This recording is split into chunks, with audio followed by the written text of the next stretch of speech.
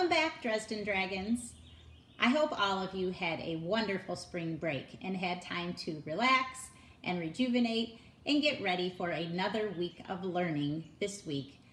Today is April 13th, 2020, and the weather today, it's going to be really windy, so hold on to your hat if you go outside with a high of 55 and a low of 29.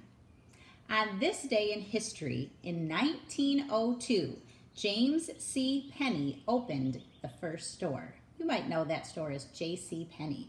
And in 1997, Tiger Woods became the youngest golfer to win the Masters tournament. A famous birthday, our third president, do you know who that is? President number three, Thomas Jefferson was born in 1743 on this day. And we have two special Dresden birthdays today. Happy birthday to Hayden and happy birthday, Tristan.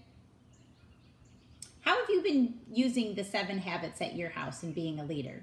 I know Dresden Dragons are some of the best leaders at school, and I know you can be a leader at home too.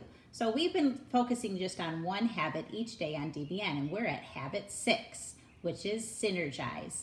I have a special treat for you today. Over break, some of the teachers and I, we work together to synergize for our Seven Habits Pledge. So stay tuned to see that.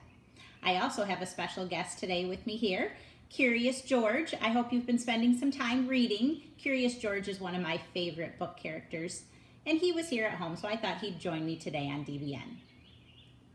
Make sure that you're logging into Schoology today and every day, and if you are still having problems getting connected with your teacher on Schoology, be sure to reach out to your teacher or to Mr. Suggs or I might even give you a call and help you to get logged into Schoology because that's where you're going to find all of your lessons and you'll be able to connect with your friends in your class as well.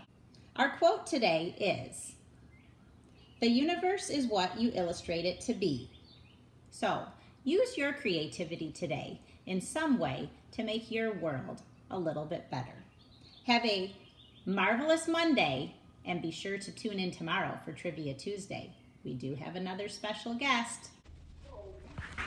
I pledge allegiance to the flag of the United States of America and to the republic for which it stands, one nation, under God, indivisible, with liberty and justice for all. I decide. On this day, to live the habits in every way. Be proactive. Begin with the end in mind. And always remember to be kind. Put first things first. Think win win too. I can do this all day through. Seek first to understand, then to be understood. That will help us synergize. It will feel so good. Sharpen the saw. A little every day. I'll live the habits. In my own way. Enjoy your day. Bye-bye.